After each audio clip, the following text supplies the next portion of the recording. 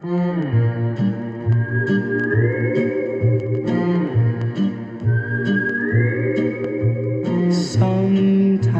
in a utopia, someone needs to clean up the mess.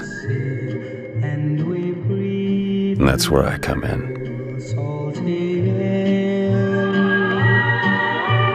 You turn to me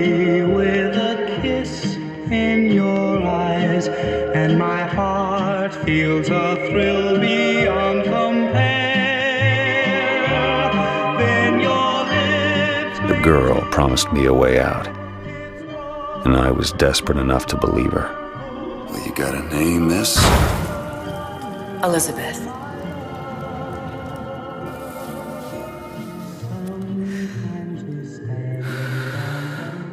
You can call me Elizabeth.